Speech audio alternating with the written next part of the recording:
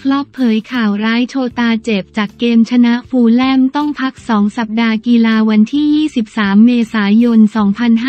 2567 20นาฬิกา5นาทีเจอเก้นคลอปผู้จัดการทีมลิเวอร์พูลเผยข่าวร้ายว่าดิโอโกโชตากองหน้าคนสำคัญได้รับบาดเจ็บจากเกมที่บุกชนะ ฟูลแลม 3-1 และต้องพักราวสองสัปดาห์ สำหรับโชตาเพิ่งสลัดอาการบาดเจ็บกลับมาลงสนามช่วยลิเวอร์พูลได้หลังช่วงพักเบรกทีมชาติ ซึ่งก่อนหน้านี้เขาต้องชวดลงเล่นไปเกือบสองเดือน หลังเข่าเดี้ยงและดาวเตะวัย 27 ปีก็เพิ่งทำประตูปิดท้ายพา หงแดง บุกเอาชนะฟูลแลม 3-1 ในฟุตบอลพรีเมียร์ลีกอังกฤษ เมื่อวันที่ 21 เมษายน Liverpool's Diogo Jota scores his side's third goal during the English Premier League soccer match between Fulham and Liverpool at Craven Cottage stadium in London Sunday April 21 2024 AP Photo Kirsty Wigglesworth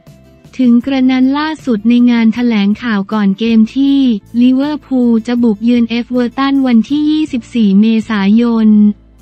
คลอปเผยข่าวร้ายว่าโชตาได้รับบาดเจ็บมาจากจังหวะยิงประตูในเกมล่าสุด และต้องพักเป็นเวลาสองสัปดาห์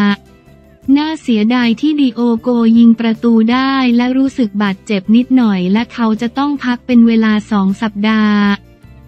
ทั้งนี้โชตาทำผลงานได้น่าพอใจในฤดูกาลนี้หลังยิงไปแล้ว 15 ประตูจากการลงสนาม 32 นัดทุกรายการ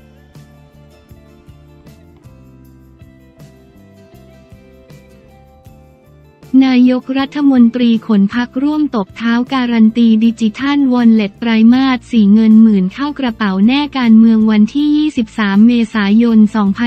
2567 14นาฬิกา54 นาทีปิดนายกรัฐมนตรีขนพักร่วมเรียงแถวการันตีเงินดิจิทัล 10,000 บาท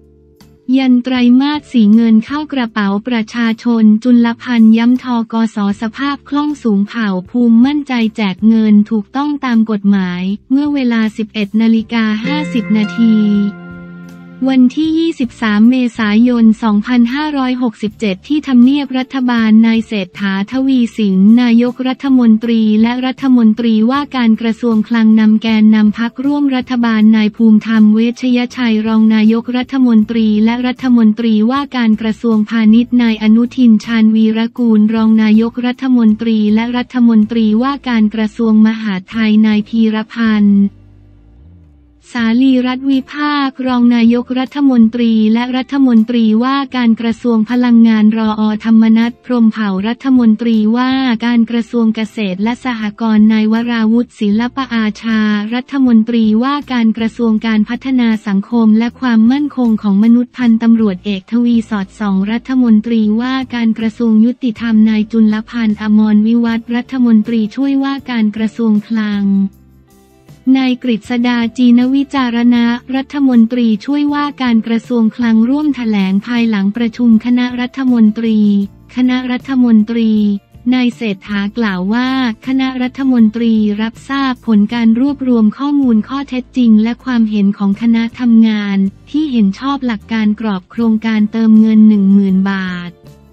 ผ่านดิจิทัลวอลเล็ตทั้งกลุ่มเป้าหมายที่จะเข้าร่วมโครงการ แนวทางเข้าร่วมโครงการของประชาชน เงื่อนไขการใช้จ่ายประเภทสินค้าการลงทะเบียนร้านค้ารวมถึงแหล่งเงินในการดำเนินโครงการ โดยกระทรวงการคลัง ธนาคารเพื่อการเกษตรและสหกรณ์การเกษตร ทกส และสำนักงบประมาณจะศึกษารายละเอียดต่อไปนายเศรษฐากล่าวว่าส่วนข้อห่วงใยเช่น ประเด็นอำนาจหน้าที่ของทกสได้สั่งการหากมีประเด็นข้อสงสัยใด ๆ ให้ส่งเรื่องไปสอบถามยังกฤษฎีกา ซึ่งทุกพักร่วมรัฐบาลเห็นชอบในหลักการของโครงการเติมเงินดิจิทัลวอลเล็ตโดยนายจุลพันธ์จะชี้แจงในรายละเอียดต่างๆ หากสื่อมวลชนมีคำถาม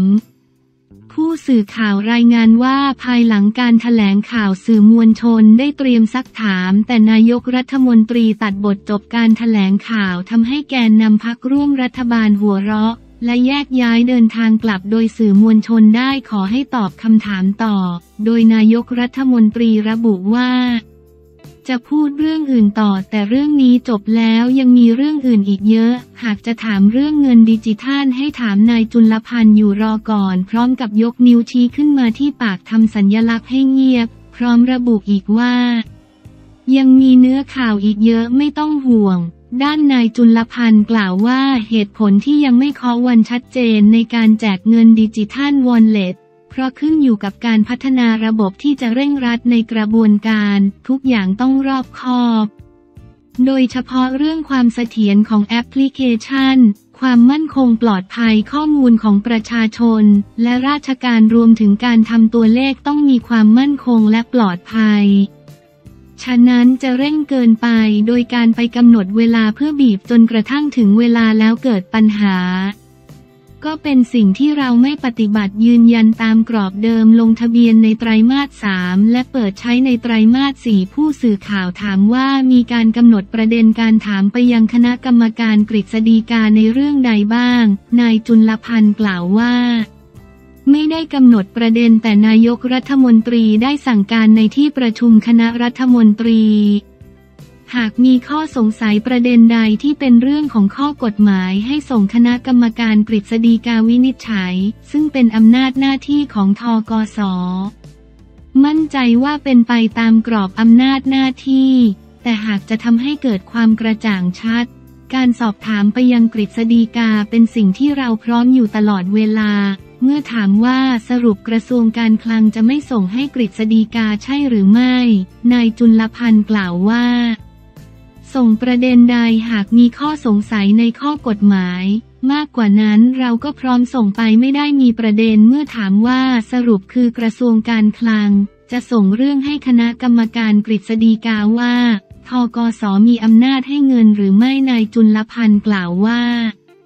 ประเด็นนี้คงต้องส่งเมื่อถามว่าได้นำเรื่องเพื่อเข้าบอร์ดทกสเพื่ออนุมัติแล้วหรือยังนายจุลพันธ์กล่าวว่ายังการดำเนินการตามมาตรา 28 เป็นกระบวนการงบประมาณประเภทหนึ่ง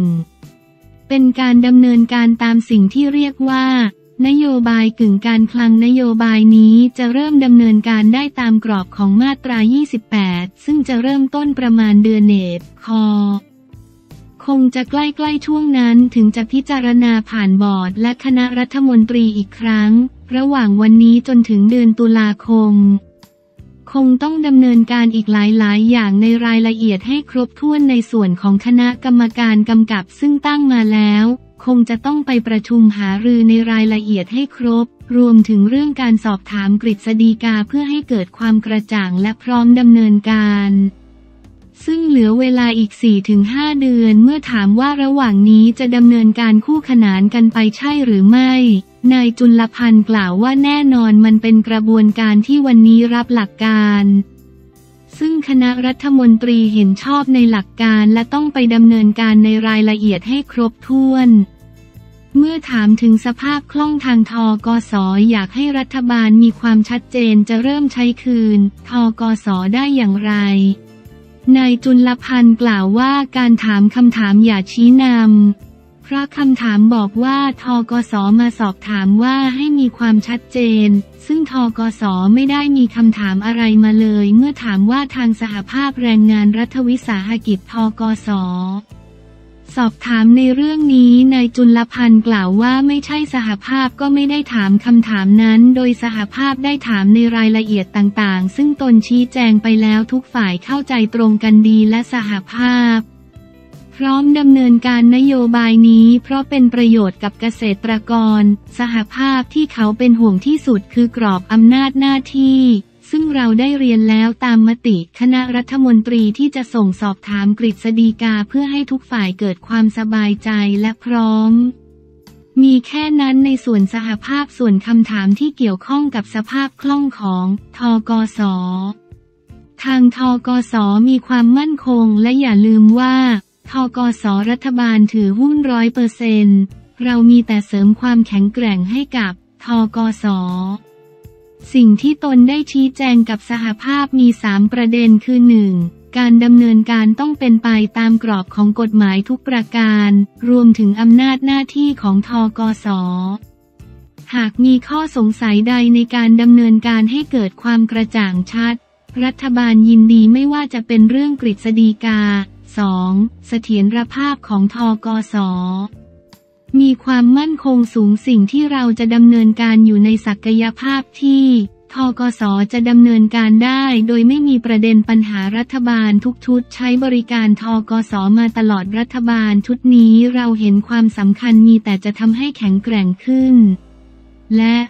3. สิ่งที่ดำเนินการจะไม่กระทบต่อสวัสดิภาพ สวัสดิการใด ๆ ของพนักงาน ลูกจ้างทกสเด็ดขาด